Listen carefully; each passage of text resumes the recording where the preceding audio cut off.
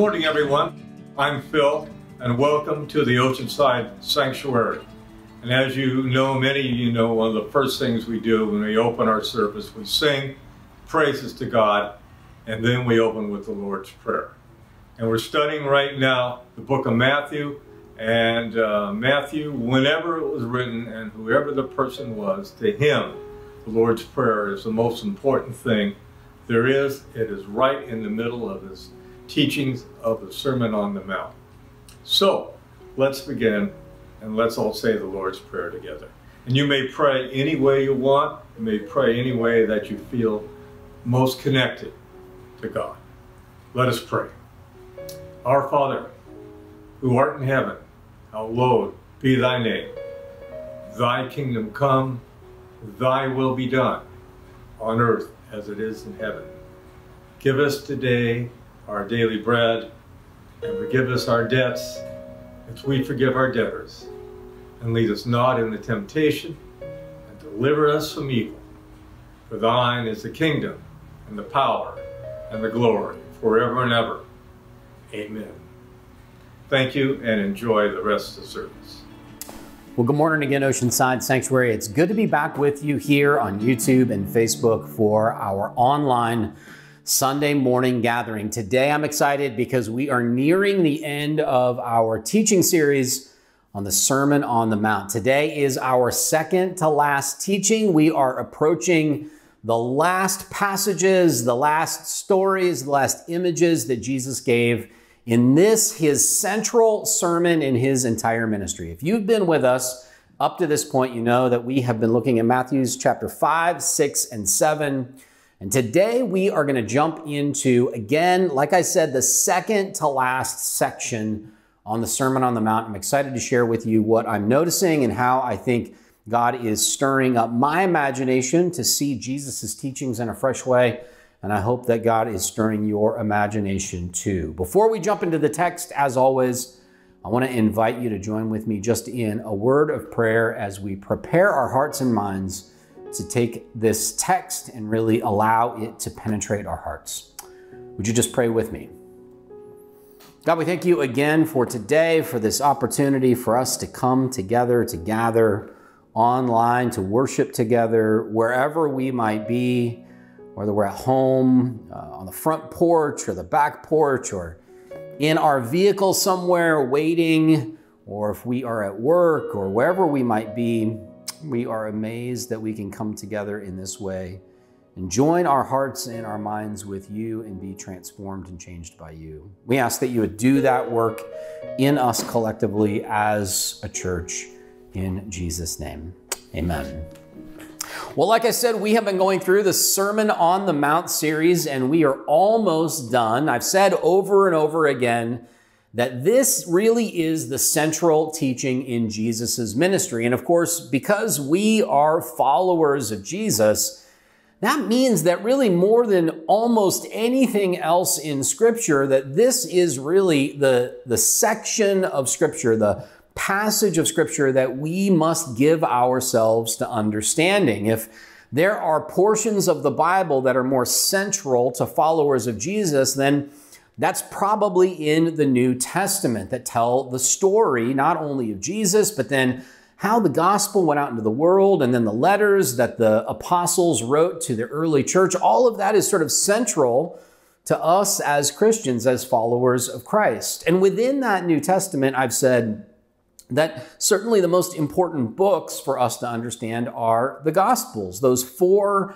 stories, those four versions or tellings of the life and the teachings of Jesus, who is the person that we are following.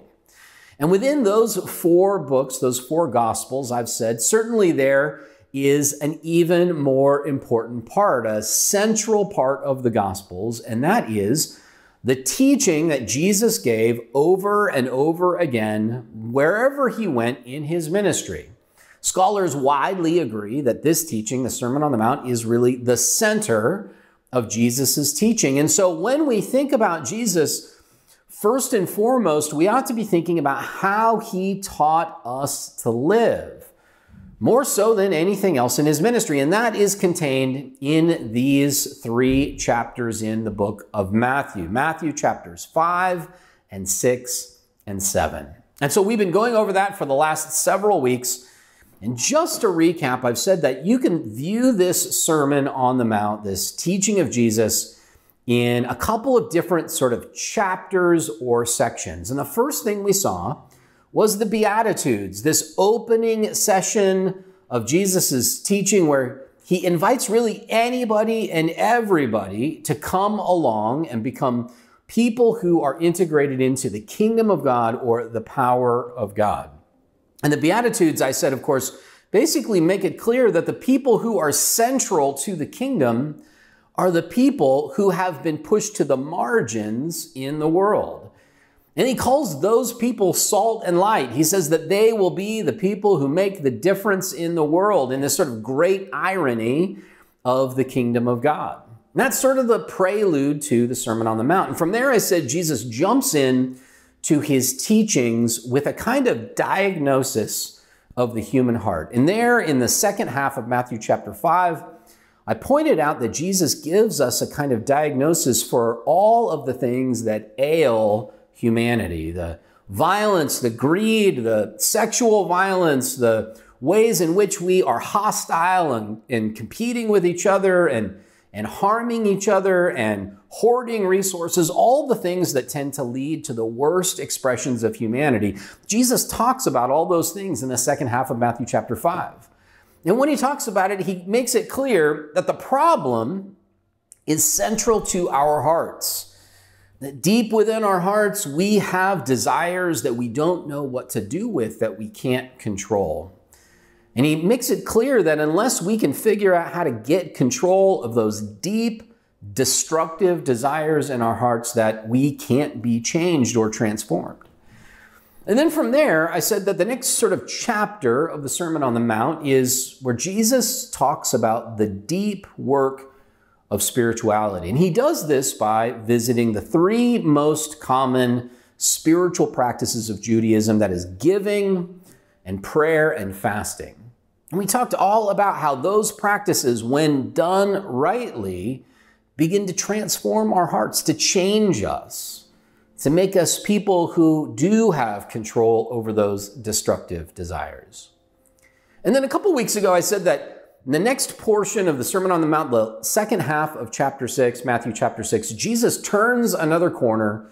And the next chapter is really about how those who have done the deep work of spiritual practices, that they begin to exhibit a transformed life.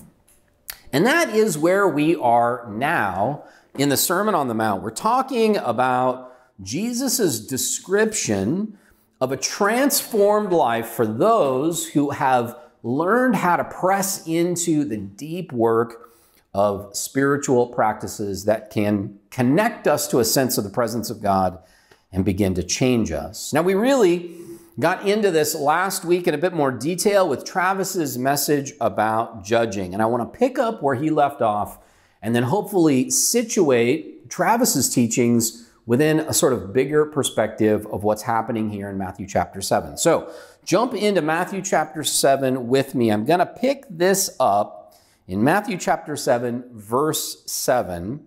And these are our central passages for today. Matthew chapter 7, verse 7 says this Ask and it will be given to you, seek and you will find. Knock, and the door will be open to you. For everyone who asks receives, and everyone who searches finds, and for everyone who knocks, the door will be opened. Is there anyone among you who, if your child asks for bread, will give a stone, or if your child asks for a fish, will give a snake? If you then, who are evil, know how to give good gifts to your children, how much more will your Father in heaven give good, good gifts to those who ask of him? And so here we have what seems to be Jesus revisiting a kind of teaching on prayer. If you remember, of course, Jesus already taught on prayer in Matthew chapter 6, where He talked about the central practices of his faith, the central spiritual practices of Judaism, and he gave us, of course, a kind of pattern for prayer, the Lord's Prayer. But here in Matthew chapter 7, Jesus seems to be revisiting the whole notion of prayer. And he says something that I think, frankly, can be a little bit difficult to swallow, a little difficult to take. He says in verse 7 Ask and it will be given to you, seek and you will find. Jesus seems to say here that whatever we ask of God in prayer, we will get. And this, of course, is something that Christians have latched onto for two millennia. They have taken Jesus' words that say, that seem to say that whatever we ask for, God will give us. And then they put that to practice and they really believe that they can essentially appeal to God for anything that they want, anything that they need, and expect that God will give it to them because Jesus said so. The problem with that, of course, is if you're anything like me, you have put that to the test. And you know as well as I do that prayer doesn't work that way. Very often, the things we pray for, in fact, very often, the things that we pray for that we want the most are the very things that we don't seem to get. Prayer turns out to be something that we, we fumble around with, we engage in it earnestly and passionately, and when the stakes are at their highest, oftentimes it seems like God is quietest in God's response to us. And that can produce a great deal of frustration and disillusionment and even a loss of faith. And so, one of the ways that we respond to that is we assume that we must be doing prayer wrong.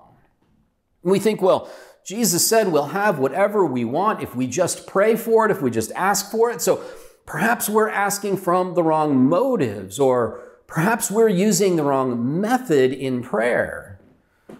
I've been a part of all different kinds of traditions of Christianity, and there are traditions of Christianity that are, built entirely on the idea that if you just approach God in the right way, then you'll get whatever it is that you ask for, you'll get whatever it is that you want. And in those traditions, a great deal of time and energy and money and effort is poured into teaching people the right way and the wrong way to think about God, to talk about God, to ask God for things in their lives. Entire books and a whole cottage industry of spiritual literature has been built on the idea that if you just approach God in the right way, then finally you will get the things that you ask for. It's amazing to me.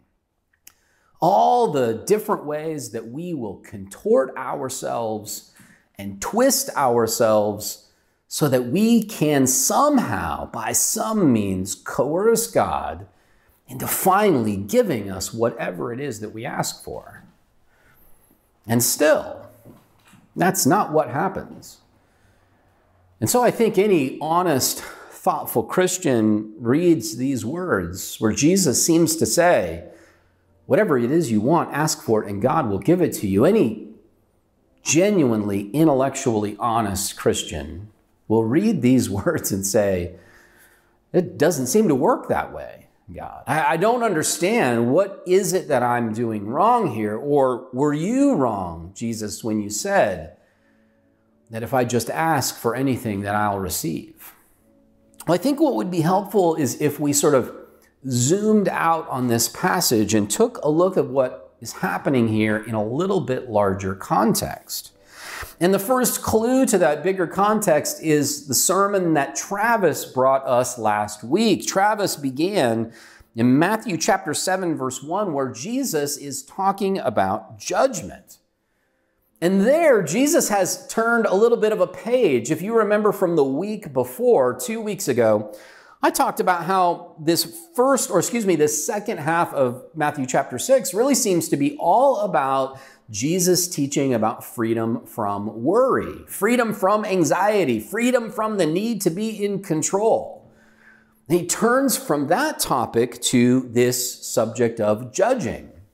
Travis brought us an excellent teaching last week on judging and the pitfalls of judging and how Jesus frees us and delivers us from the need to judge other human beings because that is not our job. But look at this right after judging, Jesus says something else about other people. He says, Do not give what's holy to dogs, and don't throw pearls before swine, or they'll trample you and turn and maul you. And so, first, Jesus gives us a teaching about not judging other people. And then he gives us a teaching about not offering to people the things that they don't want from us, even if we think they're good. And gives us a teaching about not trying to force upon others the things that we think they really need. And then Jesus turns to our passage today about asking and seeking and knocking. And then after that, if you'll notice in verse 12, Jesus moves to maybe his most famous passage of all, the golden rule. He says, In everything that you do, do to others as you would have them do to you. For this is the summary, this is the, the, the entirety of the law and the prophets. What I want you to see, what I want to suggest to you, what I want to propose to you, is that this whole section is really about being liberated from our tendency to be hostile to each other this whole section is about our tendency to want to judge and control and manipulate other people. This whole section from verse 1 all the way through to verse 12 is how those who have done the deep work of inner transformation will have an entirely different posture towards other people. We'll no longer judge each other. We'll no longer try to force good things on other people because we think that's what you need. We will finally treat each other the way that we want to be treated. This whole section is, I think, Jesus teaching us that we can finally, once and for all, be free, utterly liberated from the relationships of hostility and coercion and control that we so often have with each other. And in the middle of this section, right in the middle of this section on how to be free from hostility from each other, Jesus drops a teaching that seems to be about prayer. But Jesus, I think, isn't exclusively teaching us about prayer. Jesus is saying, not just if we ask for something, we will get it, as though he's giving us some kind of magic formula for forcing God's hand. No, I think Jesus is saying, if you want something, just ask. If you want something, just ask. Instead of doing what we always do, which is seeing something that we want desiring it in our hearts, obsessing over it in our minds, and then obsessing over the various ways that we can approach God to get what we want, and then contorting our lives, our spiritual practices, our prayers, our piety, our worship, our sacrifices, whatever it might be, arranging our whole lives in such a way as to somehow coerce or manipulate God so that God will give us what I, we want. Jesus says in response to that, stop doing that. If you want something, just ask. And then he goes on to give us the essential reason why we can do that. The essential reason why we can just ask for what we want is, of course, because God is good. Jesus turns to this passage again and he says, Listen, who of you, if your child asked for bread, would you give them a rock? Who of you, if your child asked for something to eat, you would give them a snake? Listen, if you know how to be good to your own children, how much better will God be to you? Jesus is rooting our sense of confidence and security in just asking for what we want in this bigger picture, this bigger idea that God is good, that the ultimate power in the universe, that the universe itself, that life and all that we consider to be good and right and true and holy, that that is good and we can trust it, we can count on it. And because it's good, Jesus says, Quit trying to control and manipulate God and just ask for what you want. And of course, this little lesson on prayer that Jesus drops in the middle of this section isn't just about prayer. Because it turns out that whatever our disposition is towards God, whatever our disposition is towards the universe, whatever our posture is towards the world, that is also our posture towards other people. Jesus isn't just saying, that if we want something from God, just ask. He's also saying, when you want something from each other, just ask. You and I can be free from a kind of life that is so filled with insecurity and mistrust and hostility that we think we have to twist ourselves into knots in order to control and manipulate and coerce God and each other to get the things that we need in life. Instead, Jesus says that those who have done the deep spiritual work those who have had their inner lives transformed will be those who know that God and life and the world are good, and that the right way to ask for what we want is to just ask for it. That is a life that is truly liberated from hostility. It's only possible if you have done that deep spiritual work. It's only possible if you have embraced the notion that God is so good that God has included all people and centered those who were previously on the margins. It's only possible if you have been liberated from a life of worry and anxiety because you know that you can trust that God wants what is good for you and is providing you abundantly for all that you need. All of this is Jesus' way of teaching us that the process of learning to love God and be with God is a process that produces good things in our lives. Would you pray with me? God, we thank you again for today and for this opportunity to come and to be challenged by these words, to read these passages of Scripture together, to have our hearts opened and our minds opened to have our lives transformed by your goodness and your grace. We ask that you would make all that true in our lives today and tomorrow. In Jesus' name, amen. Hey, Oceanside Sanctuary. Sometimes the only way to describe the divine is to use the word indescribable.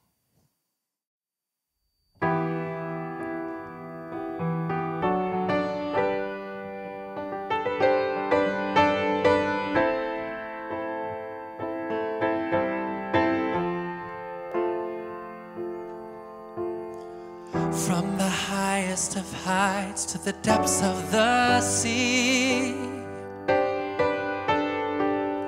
Creation's revealing your majesty. From the colors of fall to the fragrance of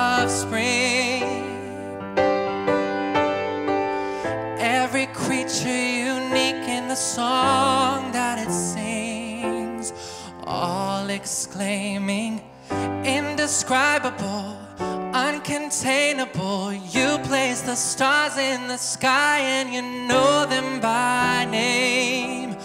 You are amazing, God. All powerful, untamable, awestruck, we fall to our knees as we humbly proclaim. You are amazing, God.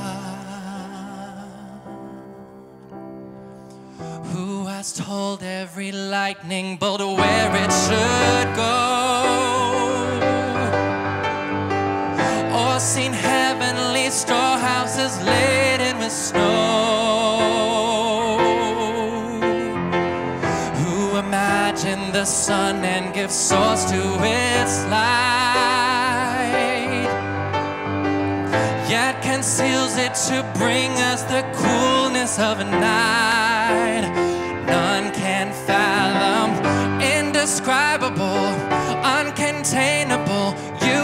The stars in the sky and you know them by name. You are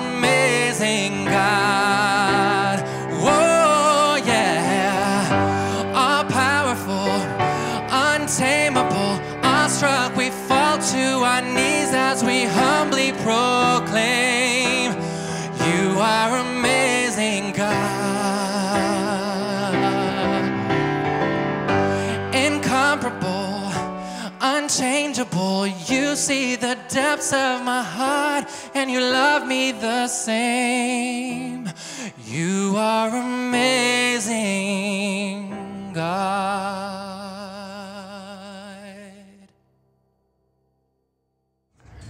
Hey, good morning, Oceanside Sanctuary. Now we are going to do communion. So go ahead and grab your elements, whatever you might have today, and let's get started.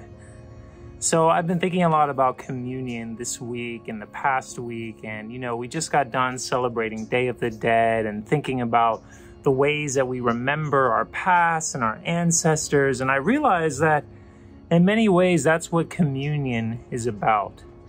In fact, if we think of Jesus being with his disciples for the last time before he was betrayed, he said one simple phrase, remember me.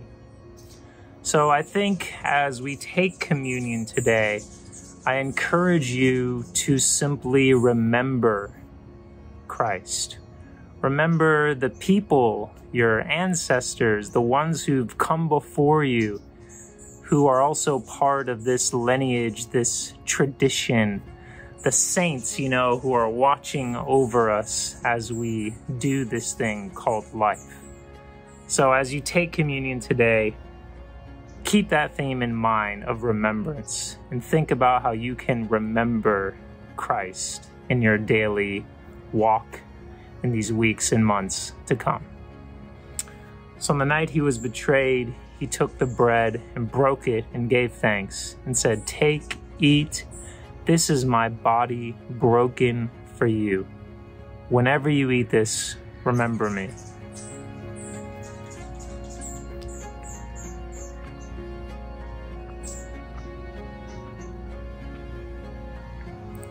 On that same night, he took the cup of wine and he said, Take, drink. This is my blood poured out for you. Whenever you drink this, remember me.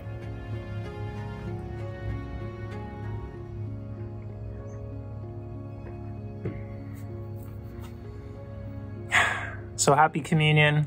I hope you enjoy the rest of the service and God bless. Hey guys, welcome back to the Oceanside Sanctuary. It's Kaya. I know it's been a while since you've seen me. So hey, what's up? How are you guys? Um, I hope you guys are doing well. I hope you had a good Halloween if you celebrated. We got Thanksgiving coming up and Christmas. Christmas is my favorite. I love Christmas but like Thanksgiving. Pumpkin pie is really good. Um, so enough about the holidays and tangents. Um, before you guys head off, I have a couple quick announcements for you guys. So the first one is if you are new, hi, hello, welcome. We are so excited to have you here this morning. Um, we would love to get to know you, get to know how you um, found our church, how you became a member, um, if you want to become a member. So if you would love to um, also get to know a little bit about us, we would love if you guys would fill out the uh, Connect card. Um, you can simply scan the QR code. Um, if you are in person or if you are online, you can simply visit our website um, and we would love to get to know you. We have a community meeting um, with Chief Fred Armijo. I really hope I pronounced that correctly. I I don't know. I think so. But that's going to be Tuesday, November 9th, um, 6.30 p.m. to 8 p.m. Um, this is actually going to be in person. Um, it also can be online, so it's also going to be on Zoom. So you can RSVP to be in person, or you can RSVP to go join Zoom.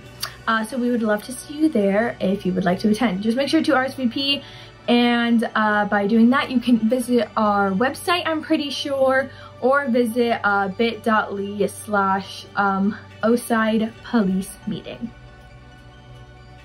We have the 146th anniversary coming up for our church. Woohoo! Um, that's gonna be Sunday, November 14th at 11 a.m. Uh, this is going to be basically just a regular service, regular time, so you can either come on Zoom or in person, however you feel. And it's just gonna be a special um, service. Uh, we're gonna have a birthday cake um, as we honor our past, present, and future legacy of Oceanside Sanctuary. On November 18th from sorry, on November 18th at 6.30 p.m. on Zoom, we have our call and response club. Woo! Um, so if you want to uh, go to that, make sure that you RSVP at oceansidesanctuary.org slash calendar to get the Zoom link. That is going to be um, on Zoom, not in person, um, November 18th at 6.30. And finally, we are a 501c3 nonprofit uh, and we rely on the gifts and donations of you guys. So like I say every time, the QR code is your friend. That sounds like a dystopian movie, but hey, it is what it is. It is what it is. So um, simply, if you would like to give to us, simply scan the QR code. If you are in person, um, visit oceansidesanctuary.org slash give or you can donate if you in the box in the back um, also if you're in person. Uh, so that's gonna be it for the couple quick announcements that I have